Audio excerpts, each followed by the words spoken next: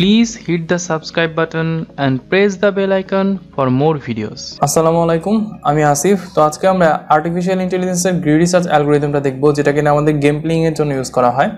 তো বেসিক্যালি আমরা এই গ্রাফটার মধ্যে আজকে গ্রিড রিসার্চ অ্যাপ্লাই করব। তো আমাদেরকে কিছু জিনিস জানতে হবে, এই গ্রিড রিসার্চটা কেন করা হয় বা কীভাবে করি আমরা এটা?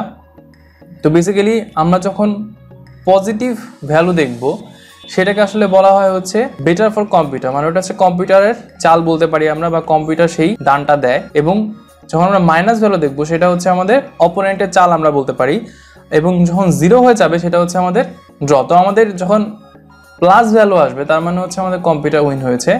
যখন মাইনাস ভ্যালু আসবে, তখন আমাদের অপোনেন্ট উইন হয়েছে এবং যখন আমাদের জিরো ভ্যালু আসবে, তখন হচ্ছে আমাদের গেমটা ড্র হয়ে গেছে। এটা তারা এটাই বোঝায়। কিন্তু গ্রিডি সার্চ অ্যালগোরিদমটার ক্ষেত্রে আমাদের কি করা হয়? এখানে শুধুমাত্র বড় বড় ভ্যালু যেগুলো আছে, সেই সকল ভ্যালুগুলোকেই কনসিডার করা হয়।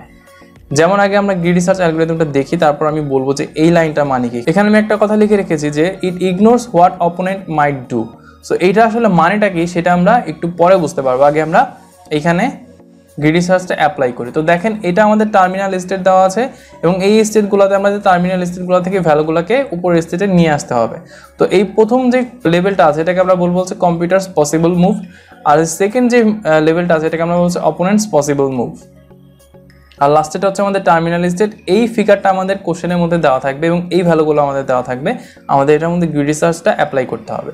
তো অ্যাজ ইউজুয়াল আমরা এখন গ্রিড রিসার্চ অ্যাপ্লাই করি। গ্রিড রিসার্চ মানে কি? যে এটা নামই আমরা দিয়েছি গ্রিড রিসার্চ অ্যালগোরিদম বা এটার নামই হচ্ছে গ্রিড রিসার্চ অ্যালগোরিদম সেক্ষেত্রে এটা দেখা যাচ্ছে যে সব থেকে বড় যে ভ্যালুগুলো আছে, ওই বড় ভ্যালুগুলোকেই চুজ করবে। তো এইখান থেকে আমরা দেখি যে এই এফ এবং জি এর মধ্যে সব থেকে বড় ভ্যালু কোনটা হবে? মাইনাস সেভেন না মাইনাস ফাইভ অবশ্যই মাইনাস ফাইভ সো এখান থেকে কোন ভ্যালুটা বি এর মধ্যে যাবে? মাইনাস ফাইভ যাবে হচ্ছে বি এর মধ্যে। তো আমরা এখানে কত লিখে দিব?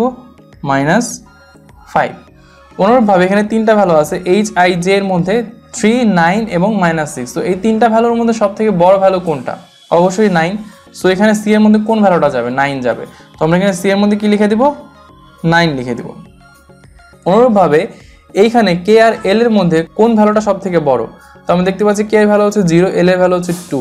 তো এই ক্ষেত্রে কোন ভ্যালুটা যাবে? যেহেতু এটা গ্রিডি সার্চ অ্যালগোরিদম আগেই বলেছি সো বড় ভ্যালুটাকে সে চুজ করবে। সো এখানে যাবে কত? দুই। তো এখানে ডি এর মধ্যে যাবে কত? দুই। এখন এম এন ও এর মধ্যে কোন ভ্যালুটা সব থেকে বড়? এম এর ভ্যালু হচ্ছে ওয়ান এন এর ভ্যালু হচ্ছে থ্রি ও এর ভ্যালু হচ্ছে টু এই ক্ষেত্রে কোন ভ্যালুটা সব থেকে বড়?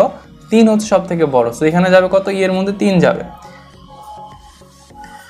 তো দেখেন, এখান থেকে সবগুলো বড় ভ্যালু কিন্তু আমাদের এখানে চলে গেল। এখন, এর মধ্যে কোন ভ্যালুটা যাবে? এখান, এই চারটা নোডের মধ্যে সব থেকে বড় ভ্যালু কোনটা? Minus five nine two three এই চারটা ভ্যালুর মধ্যে সব থেকে বড় ভ্যালু হচ্ছে নাইন সো এর মধ্যে যাবে কত? নাইন যাবে। তো এইটাই হচ্ছে আমাদের গ্রিডি সার্চ অ্যালগোরিদম যে কোন ভ্যালুটা সব থেকে বড়, সেই ভ্যালুটা কিন্তু এখানে যাচ্ছে। কিন্তু দেখেন, আমি এখানে একটা কথা লিখে রেখেছি যে it ignores what the opponent might do কিন্তু অপোনেন্টের আসলে চুজ করার কথা কি ছিল? অপোনেন্টের চুজ করার কথা ছিল কিন্তু যে ছোট ভ্যালু যেগুলো হবে, সেগুলো হচ্ছে অপোনেন্ট চুজ করবে। আর বড় ভ্যালু যেগুলো আছে, ওগুলো হচ্ছে আমাদের কম্পিউটারটা চুজ করবে। কিন্তু দেখা যাচ্ছে যে এখানে সবগুলাই এই সার্চ অ্যালগোরিদমটার ক্ষেত্রে আমরা সবসময় কি করেছি? বড় ভ্যালুটাকেই চুজ করেছি। তার মানে অপোনেন্টের যে কাজটা করার কথা ছিল, সেটা কি এই অ্যালগোরিদমটা আমাদের ইগনোর করছে না?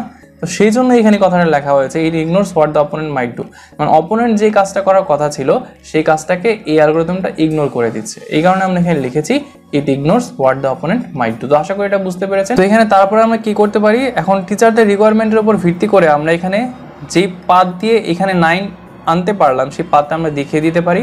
অথবা হচ্ছে আমরা এখানে বোল্ড করে মার্ক করে দিতে পারি যে আমরা এই পাতটাকে ইউজ করে এসেছি। যদি আমরা পাতটা দেখাই আলাদা করে, তাহলে আমাদের কোন পাতটা দেখাতে হবে? এ থেকে আমাদের সিতে যেতে হবে সি থেকে আমাদের আইতে যেতে হবে, তাই না? তো আমরা এভাবে করে দেখিয়ে দিতে পারি। এ থেকে আমরা গিয়েছি হচ্ছে সিতে সি থেকে আমরা গিয়েছি হচ্ছে আইতে। এভাবে করে পরীক্ষা হলে দিতে পারব অথবা টিচারটা যেভাবে বলবে, আমরা টিচারের কাছে জিজ্ঞাসা করে ওইভাবে করে আমরা পরীক্ষা হলে বোল্ড করে দিব অথবা এরকম করে আলাদা করে পাতটা লিখে দিব। তো আশা করি এটা বুঝতে পেরেছেন। এইটাই ছিল হচ্ছে গ্রিড রিসার্চ অ্যালগোরিদম একদম ইজি একটা এবং সিম্পল একটা অ্যালগোরিদম তো যদি বুঝে থাকেন এবং আপনাদের কাছে ভালো লেগে থাকে, তাহলে অবশ্যই লাইক করবেন শেয়ার করবেন কমেন্ট করবেন এবং অবশ্যই আমার চ্যানেলটিতে সাবস্ক্রাইব করতে ভুলবেন না। ধন্যবাদ।